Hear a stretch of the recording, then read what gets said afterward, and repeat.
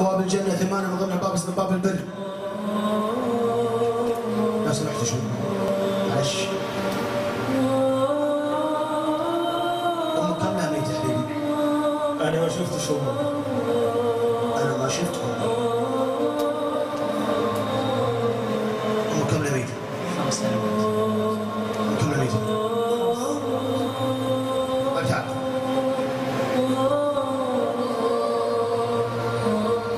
شيء يا إخوان؟ راح نبدأ مع أخونا اللي ما شاف امه ما شاف امه كم عمرك يا شيخ؟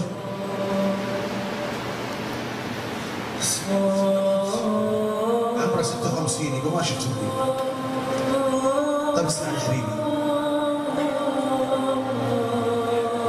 تخيل انت ما سمعت كلامي عن أمه سوى مع أمه سمعت الآيات سمعت الشيخ كيف تكلم. تخيل تخيل لما قلت اللي ما اللي امه ميته يرفع يده تخيل إنك أنت ما رفعت يدك يعني أمك إيش؟ يعني أمك إيش؟ موجودة صح؟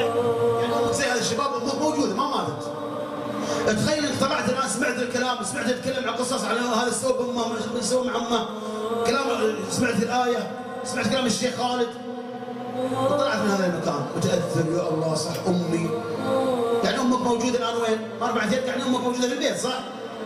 وقاعدة في الصالة. ودها تنام ودها تاكل تبغى تتعشى بس تبغى تشوف اسمك؟ ودها تشوف شعبان. ما ودها تاكل لازم شعبان معها. ما تبغى تنام؟ إلا لازم تحضن. شعبان. تقبل شعبان.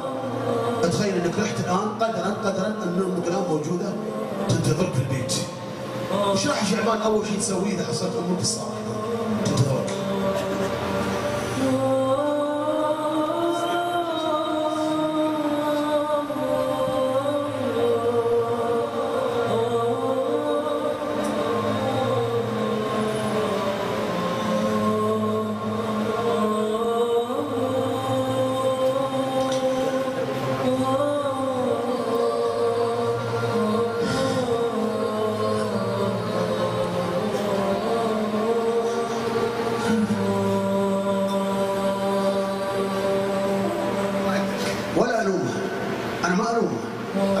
قلوب ناس عاقين والديهم تكلم شوف الشيخ تخيل نفسك سؤال قلت الشيخ انك الان موجود؟ ما رفعت يدك يعني أمك الآن موجودة. ما انت راح تنام أمك ما راح تتعشى لازم تشوفك أول. تحضرين تقبل تنام عقبها إيش راح تسوي أنت؟ أمك الآن موجودة. بكل صراحة أنا أفرح إذا رأيت رؤية في المنام. كيف إذا صارت عندي موجودة؟ أفرح أبشر أهلي إني شفتها اليوم بالمنام كيف إذا كيف إذا شفتها؟ أتمنى إن الأم عندي.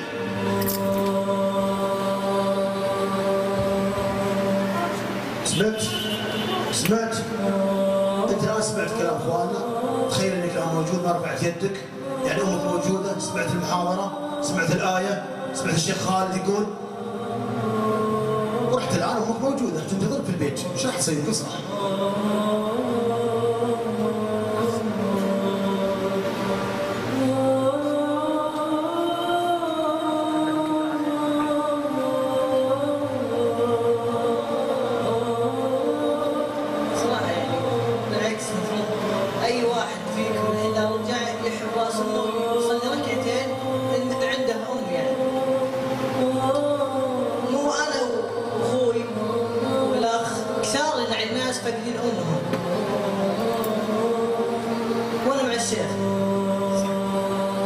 حبيبي نسمع الشيخ الآن يقرأ كلام رب العالمين مو بكلامنا.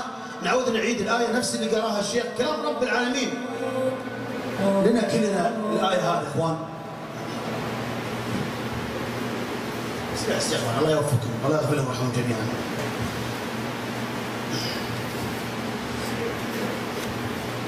وقضى ربك ألا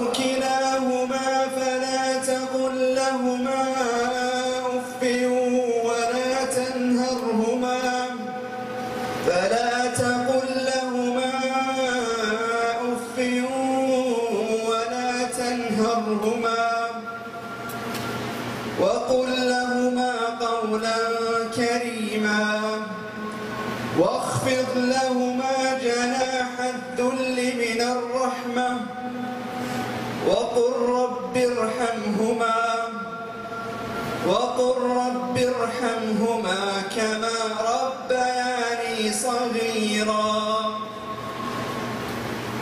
والله حبيبي تكون أخوك نصيحة بالله